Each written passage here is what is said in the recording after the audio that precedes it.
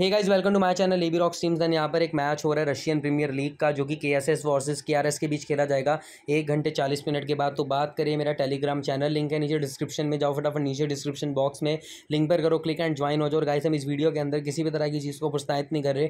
ये वीडियो बहुत ही ज़्यादा सेफ़ और नॉलेजेबल है, बढ़ते हैं आगे, बात करें अगर हम इस मैच की के एस एस और के आर एस में अगर देखा जाए, जो एक घंटे चालीस मिनट बाद मैच होने वाला है, इसके अंदर मैं फेवर करूँगा के आर एस को। एंड के आर एस एक बहुत ही अच्छी टीम है। आपको बता दूँ, मैं के आर एस का बहुत बड़ा एक फ़ैन हुआ करता था किसी टाइम पे।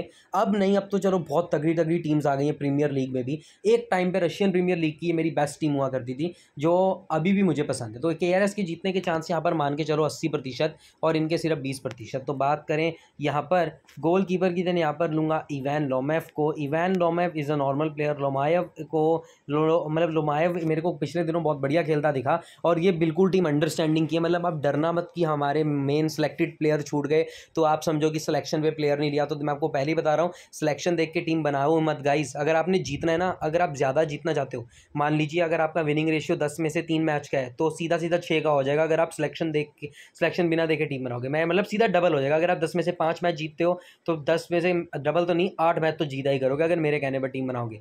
आगे से अगर बात करें रेमिरस की देन यहाँ पर लेंगे क्रिस्टियन रेमिरस को पिछले मैच के अंदर विदाउट क्लीन शीट इसने असिस्ट कर दिया था असिस्ट सच्चे में ही देखने वाला था. अभी तो मैंने बेजल हो गया गौरशकोव हो गया। इनको तो मैंने लिया नहीं, जबकि ये भी नामी घामी हुआ करते हैं, अभी भी हैं। बट यार मैं नहीं ले सकता, मैंने उसको भी लेना है। मैंने आगे से काइयो को लेना है। Caio is a great player Caio के, काइयो का तरीका आप जानते ही हैं। ना आगे से बात करें बोरोदिन की तो यहाँ पर लेंगे सैरजी बोरोदिन को। Sergei Borodin is also an next level player और ये भी अच्छा खेलता है। एंड वॉलकॉफ की बात करें, यहाँ पर लेंगे सैरजी वॉलकॉफ को। सैरजी वॉलकॉफ भी यहाँ पर आपको बहुत ज़्यादा वेल प्लेयर मिल जाएगा वेल अच्छा करता नज़र आएगा क्योंकि वॉलको यहाँ पर फोर्थ डिफेंडिंग कर रहा है और फोर्थ डिफेंडर किसी के पाप से नहीं घबराता मैं आपको क्लियर बता रहा हूँ। कभी ना कभी वो अपनी फॉर्म में आता ही आता है और हो सकता है आज का ही दिन हो, क्योंकि बोरोदिन और ये की प्लेयर हैं और जब की प्लेयर चलता है ना, अच्छे अच्छों को हिला के जाता है ना। आगे से अगर बात करें स्पैट्सियन की, लोग इसको कैप्टन रखने में दीवाने हुए हैं क्योंकि इसने तेईस जुलाई को गोल किया था, फिर उनतीस जुलाई को गोल किया था, फिर एक महीने के गैप में इसने दो गोल किए थे टीएम के खिलाफ और उसके बाद जो मैचेज हुए हैं, उसमें भी गोल करता नज़र आया। तो एक बार तो मेरा भी मन कर रहा था कि मैं स्पैट्सियन को कैप्टन रख दूँ,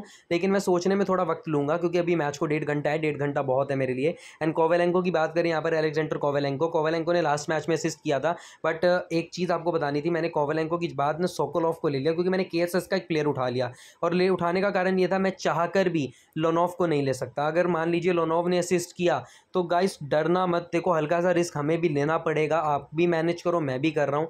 और बात करते हैं कॉर्डोबा की। देन जॉन कॉर्डोबा की हुई वापसी। एंड कॉर्डोबा ने लास्ट मैच के अंदर किया, एक गोल और दो असिस्ट और उसके बाद भी एक मैच हुआ था। ये तो चलो अट्ठाईस अगस्त का मैच है। अगर मैं बात करूँ अभी अभी एक हाल ही में लास्ट वीक ऑफ़ सितंबर या फिर सितंबर की लास्ट वीक सितंबर की तो उसके अंदर जय कार्डोबा ने मैं बहुत ज़बरदस्त खेला था। ना? आगे से बात करें ऑलोसिगन की। अगर ऑलोसिगन नहीं खेला तो हमारे लिए और अच्छा है। फिर हम ओलोसिगन की जगह दूसरा प्लेयर ले लेंगे, लेकिन तब तक के लिए सेव कीजिए। एंड ग्लोशेंकोव की बात करें, यहाँ पर हम लेंगे one another player Maxim Maxim Glushenkov ये भी प्लेयर बुरा नहीं है। अगर आप इसको भी वाइस कैप्टन रखना चाहते हैं, रख सकते हैं, लेकिन रखेगा कोई नहीं स्मॉल लीग के अंदर। सब लोग ना क्या करेंगे, मेरे को पता है। अगर किसी ने रखा भी तो लोग स्पैट्सियन को कैप्टन रख के इसको रखेंगे वाइस कैप्टन बाकी मेरा जो रेशियो है वो मेरा कैप्टन कार्डोबा वाइस कैप्टन स्पैट्सियन अगर मैंने कैप चेंज किया तो मैं अपना वाइस कैप्टन चेंज करूँगा इसकी तरफ़।